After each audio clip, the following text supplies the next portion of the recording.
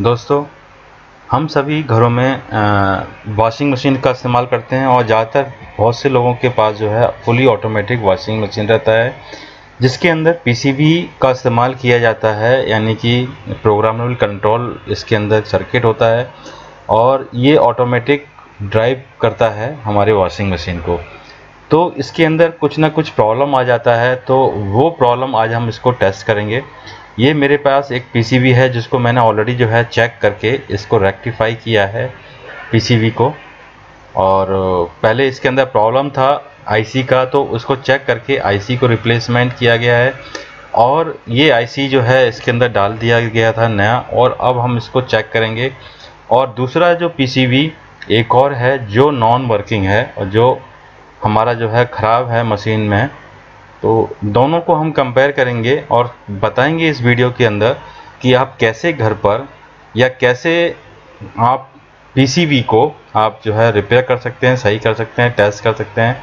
तो मैं इसमें सबसे पहले जो है सीरीज़ बोर्ड ले रहा हूँ टेस्टिंग के लिए और इंस्ट्रूमेंट में जैसे स्क्रू ड्राइवर है प्लायर है टेस्टर है और आपका कटर रहता है। और most important thing is the multimeter for voltage output checking. तो आइए हम इसको टेस्ट करते हैं और सीरीज़ बोर्ड, जैसे मैंने बताया आपका, मैंने इस्तेमाल करूँगा इसके अंदर टेस्टिंग के लिए, पीसीबी के लिए। तो इसके अंदर आप देखेंगे कि जो पीसीबी है, जो मेन दो इसके अंदर कनेक्टर लगे हुए हैं एक वाइट और ब्लैक। तो ये ब्लैक कलर वाला जो है, न्यूट्रल रहता है वाइट वाला जो है, आपका इसके अंदर पावर सप्लाई, यानी कि फेस की सप्लाई होती है। तो इसमें डीसी एक सॉरी एक के अंदर हम न्यूट्रल लगाएँगे, दूसरे के अंदर हम फेस सप्लाई देंगे सीरीज़ बोर्ड से। तो ये वायर मैंने लगा दिया है, एक में, एक वायर लगा दिया है, दूसरे में दूसरा वायर लगा कर हम इसको चेक करेंगे सप्लाई को। और देखते हैं कि इसके अंदर जैसे आप कनेक्टिविटी इसका कंटिन्यूटी ठीक है बोर्ड का या नहीं है। तो जैसे अब देख, मैं देख रहा हूँ कि इसके अंदर हमारा जो है सीरीज़ में जो वर्ब लगा हुआ है टेस्टिंग के अंदर, वो ग्लो नहीं कर रहा है और इसके अंदर पावर भी नहीं आ रहा है। एक इसके अंदर एलईडी पावर होती है। इसको मैं लगा देता हूँ पहले वायर को, फिर मैं आपको दिखाता हूँ कि वो ग्लो नहीं करता है। देख लिया पावर इसके अंदर कोई ना कोई सर्किट ब्रेक है पीसीबी के अंदर। यानी कि वो हमें फर्दर रिकग्नाइज करना पड़ेगा इसके आउटपुट को। तो ये मेरा ख़राब पीसीबी है। और आप देख सकेंगे कि इसके बैक साइड में ये टेस्टर में ग्लो कर रहा है पावर जहाँ से इन जा रहा है। तो हमारे मशीन के अंदर ज़्यादातर दो वायर यूज़ होते हैं। ब्लैक कलर जो है आपका ब्लैक और ब्लू जो है आपका न्यूट्रल के लिए यूज़ होता है। वाइट कलर सप्लाई में आपका मोटर में यूज़ हो रहा है। तो ये ऑन ऑफ़ का बटन है पीसीबी का, जो हमारे मशीन में रहता है। और ऑन ऑफ़ करने के बाद में भी इसके अंदर कोई सप्लाई नहीं है।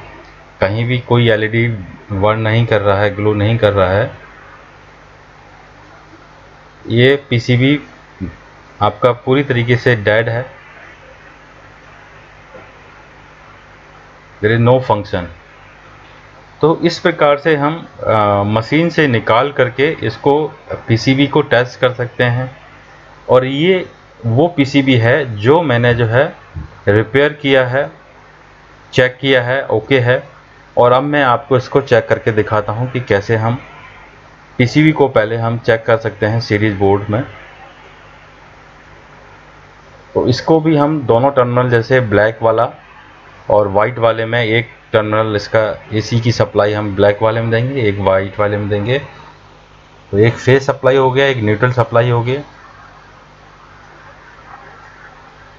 और अब हम इसकी पावर को ऑन कर देंगे बोर्ड को।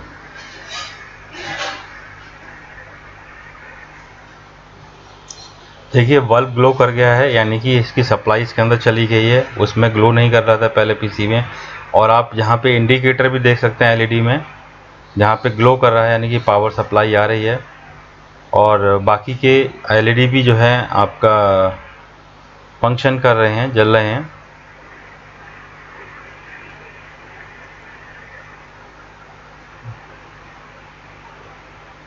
अब हम इसके ऑन ऑफ़ बटन को यूज़ करेंगे। ऑन ऑफ़ बटन से भी चेक करेंगे। बाकी के फ़ंक्शन को भी चेक करेंगे। जैसे हमने ऑन ऑफ़ बटन दबा रहे हैं तो देखिए इसके अंदर पानी पानी ये आप सॉरी पावर आता है और ये सारा जो है ग्लो करता है। कुछ इसमें आउटपुट सेंसर्स ऐसे होते हैं आउटपुट कि जैसे पानी का सेंसर होता है, अगर पानी नहीं है तो ये आपका ब्लिक करेगा, जैसे आगे नहीं चलेगा, ये बंद हो जाएगा। तो this is not the problem ये आउटपुट और इनपुट जो आपके सेंसर हैं मशीन के, उसके आउटपुट के ऊपर हैं। जब उसको पानी का लेवल फाइंड होगा या मशीन क्लोज है, ये सेंसर इसको फाइंड होगा तो ये प्रॉपर वर्किंग करेगा, उसमें कोई प्रॉब्लम अब ये कनेक्टर्स जितने भी आउटपुट आप दिखाई दे रहे हैं मतलब पिन के, इसके आउटपुट को भी मैं चेक कर लेता हूँ मल्टीमीटर से इसके वोल्टेज वगैरह को। इसके वोल्टेज आउटपुट आता है, इस पे से। ये आउटपुट जो हैं, इनके कनेक्टर्स के जाते हैं। हमारे जो वॉशिंग मशीन में ड्राइव्स हैं मोटर्स हैं, आपका ब्रेक मोटर है, आपका, इसके अलावा आपका ये वाटर लेवलिंग के लिए रहता है मोटर ड्राइव वगैरह। कुछ सेंसर्स होते हैं। सेंसर्स के लिए हो सकता है कि आपके पास 220 वोल्ट की सप्लाई ना होगा कि कुछ कम वोल्टेज होते हैं। वो सप्लाई इसमें से निकलती है, उसमें जाती हैं सेंसर्स के अंदर। तो ये सारे आउटपुट जो हैं, मैं चेक कर रहा हूँ और इसके अंदर सप्लाई आ रहा है। यानी कि मेरी पीसीबी जो है, इसमें आउटपुट सही दे रही है, निकल रहे हैं।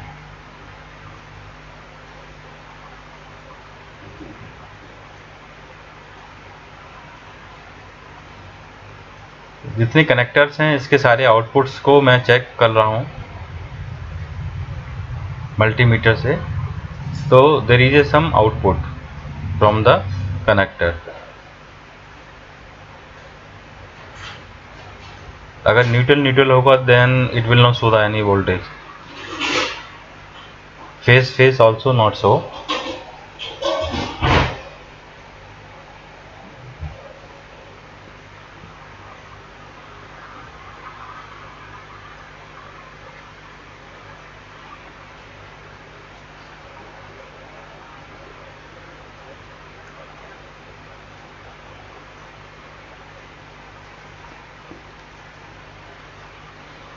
तो ये पीसीबी मेरा जो है, ठीक है और इसमें आउटपुट बिल्कुल सही हैं।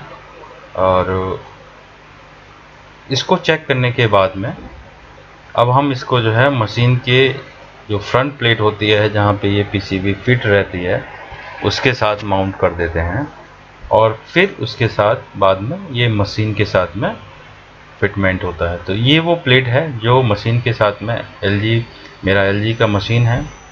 फ्रंट लोडिंग फुली ऑटोमेटिक तो इस प्लेट के ऊपर ये पीसीबी जो है फिट रहती है।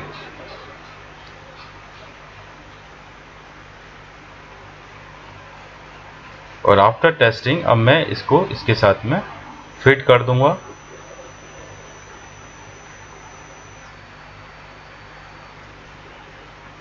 और फिर हम इसको जो है मशीन के साथ में फिटमेंट करेंगे।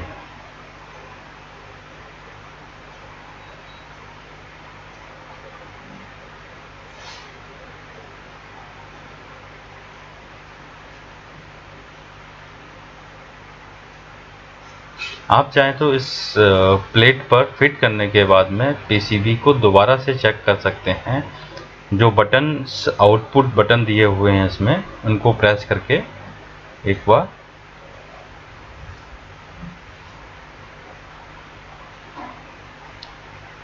प्रॉपर तरीके से जो भी लैचेस हैं इसके अंदर, उसको सही से बिठाइएगा। नहीं, टूट सकते हैं, वो ब्रेक हो सकते हैं। और उसके बाद में जो स्क्रू जहाँ से आपने निकाला है, उस स्क्रू से इसको हम फिक्स कर देंगे पीसीबी को। तो देखिए लैचेस सारे बैठ गए हैं प्रॉपर तरीके से और इन स्क्रूज को अब हम फिक्स कर देंगे। और फिर उसके बाद में दोबारा से इसकी पावर सप्लाई दे करके इसको चेक कर लेंगे। और then will fit this PCB to our washing machine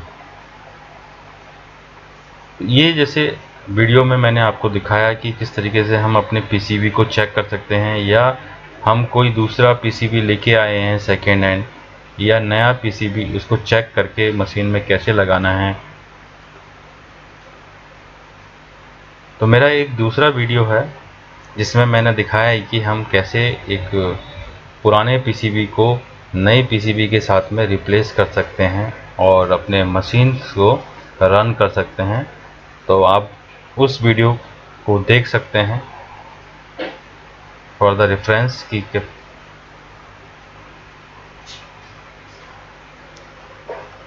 तो ये पीसीबी हमारा फिट हो गया है मशीन पे लगाने के लिए। Thanks for watching this video अगर आपको ये वीडियो पसंद आया तो इसको like and give your comments and subscribe this channel. Thanks you.